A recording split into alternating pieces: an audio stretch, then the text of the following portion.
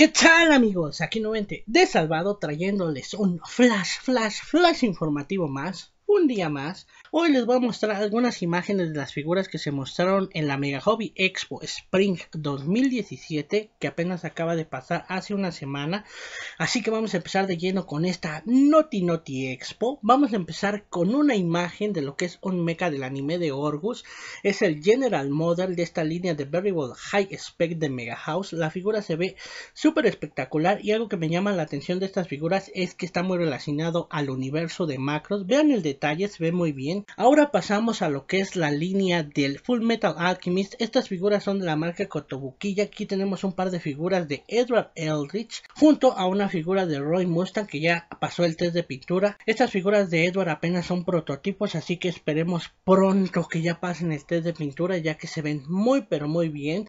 Ahora pasamos a una figura de Digimon que es la figura de Lady Devimon. Esta figura me gustó muchísimo desde que vi el prototipo en una expo anterior. Ya aquí tenemos la figura con el test de pintura aprobado. Se ve muy muy bien, se ve súper sexy, así que esperemos hacernos de ella. Ahora pasamos a una figura de Dukemon Crimson Mode. Es una figura que me gusta muchísimo ya que se ve muy muy soberbia. Anteriormente habíamos visto solamente lo que era el prototipo. Ahora ya tenemos lo que es la figura con el test de pintura aprobado. Ahora pasamos a estas figuras de Digimon de la línea Digivolving Spirit que está basado en lo que es la línea de Hybrid Digivolving del año 2000. Aquí ya se ve una evolución en estas figuras donde podemos evolucionar de Agumon a Wargreymon y de Gabumon a Metal Garurumon. En especial me gustan muchísimo y espero hacerme de estas dos que son las dos primeras. Se ve muy pero muy bien esta línea. Ahora pasamos a lo que es la línea de Dimension of Dragon Ball. Aquí tenemos una figura de Goku en Super Saiyajin 4. Se ve súper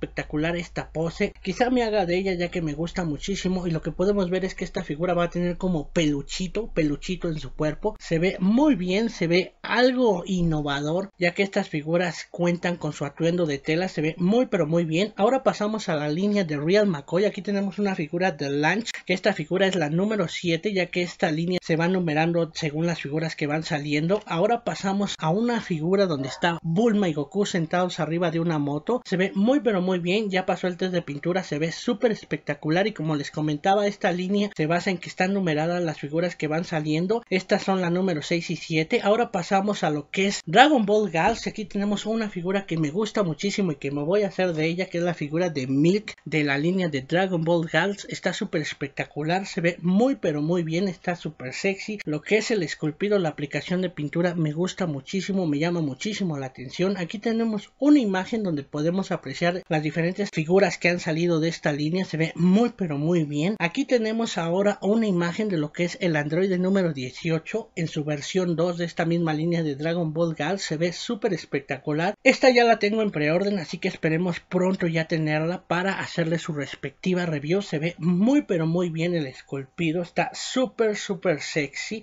Vean el detalle la mirada la pose se ve espectacular. Ahora pasamos a una figura del anime de Cillion en especial esta figura de Apple de la línea Heroin Memories. Es una figura que tiene, no sé, esa nostalgia muy, muy noventera. Se ve muy, pero muy bien. Me llama muchísimo la atención y espero hacerme también de ella. Ahora les muestro esta figura del anime de Kokochikame, que es la figura de Katherine Akimoto de la línea Bebe Version. Ya la línea Bebe Version pasó a otros animes. Continuamos con una imagen de lo que es la figura de Kakashi Hatake en su versión chibi. Aquí ya la tenemos ya después de pasar el test de pintura. Se ve muy, pero muy bien. Pasamos a lo que es la figura de Gara de esta línea Gem. Se ve muy muy soberbia esta figura, se ve espectacular el esculpido. Aún no pasa el test de pintura. En este momento solamente tenemos lo que es la escultura y se ve muy muy bien. El detallado en el rostro me encanta. La pose, esa pose se ve espectacular y temible a lo que es relacionado a este personaje de Gara. Ahora pasamos a lo que es la línea de Naruto Gals con esta figura de Sakura que se ve súper súper bien. Esta figura también me voy a hacer de ella ya que estoy en espera que me llegue la figura de Tsunade de esta misma línea de Naruto Gals Así que esperen pronto su review. Se ve muy muy bien esta figura aún en el esculpido. Se ve súper genial. Ahora continuamos con lo que es One Piece. Pero en este caso lo que es la línea de One Piece. En este caso tenemos estas figuras de 20 aniversario. Que se ven muy bien. Me llamaron la atención ya que no hubo mucho en lo que es la línea de Mega House. Por eso decidí mostrarles esta imagen a aquellos que coleccionan figuras de la línea de Figuar Zero. Esperen estas figuras de 20 aniversario ya que la aplicación de pintura y la combinación de colores hace que sobresalga y resalte mucho esta colección de One Piece 20 aniversario. Se ve muy muy bien, está innovando muy bien lo que es Bandai con este tipo de figuras. Ahora continuamos con lo que es la línea de Barry Action Heroes, en especial con esta línea de Pass Blue de Luffy versión Yellow y Zoro de esta línea Version Pass Blue. Continuamos también con lo que es la figura de Perona y algunos de sus accesorios. Se ve muy muy bien. No me voy a hacer de ellas ya que pienso conseguir solamente la Silent Again. Aquí tenemos una imagen donde se ven las diferentes figuras que han salido de esta misma línea. Continuamos con algo que a mí me decepcionó y que no me gusta, pero decidí mostrarlos, que es esta línea de Variable Action Heroes DX, que son figuras articuladas del tamaño de una figura pop. No me gustan, no me voy a adquirir ninguna de estas figuras, pero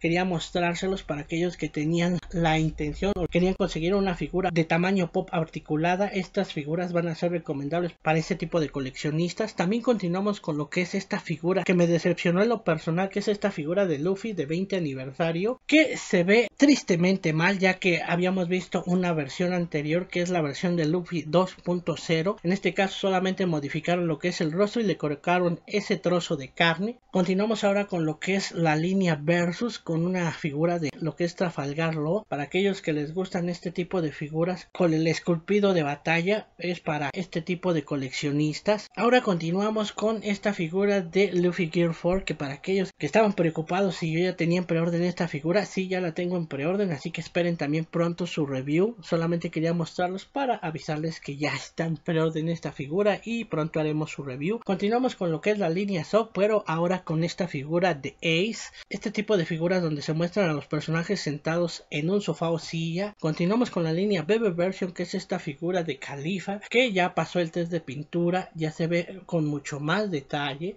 Vean lo impresionante que se ve. Ahora continuamos con lo que es esta figura de Nami, versión 3.0 de esta misma línea Bebe Version y la figura de Tashigi White Version Bebe Version también, que ahora se están manejando con Dual Pack para conseguirlas. Así que esto es lo que se le llama el fan service. Y por último continuamos con lo que es la figura de Boa Hancock, Bebe Version versión 3.0 que se ve súper sexy y que aunque digan que es fanservice yo sí voy a conseguir esta figura. Me encanta me gustó muchísimo me llama muchísimo la atención la pose. Espero ya verla después de que pase el test de pintura ya que tiene un esculpido y un detallado muy muy impresionante. Vean el detalle en lo que es el rostro las curvas el cuerpo. No tiene aún una aplicación de pintura y ya se ve muy pero muy bien esta figura de Boa Hancock versión 3.0 Bebe Version esto fue básicamente todo lo que se mostró en la mega Hobby Expo Spring 2017 que acaba de pasar. Quería mostrar las figuras que a mí me llamaron la atención y les voy a mencionar las que más destacaron a mí en lo personal y que pienso adquirir. En este caso serían las dos figuras de, Digimon de la línea Digivolving Spirit que serían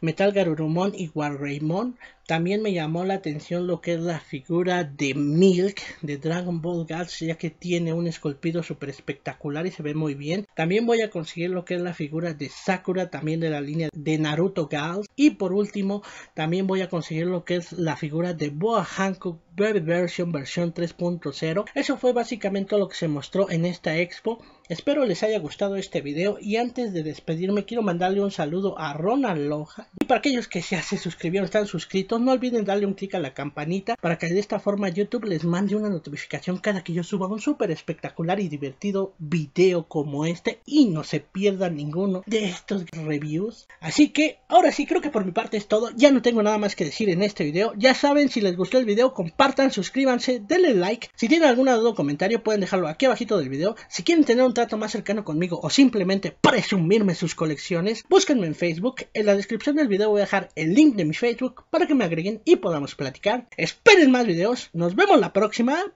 Chao.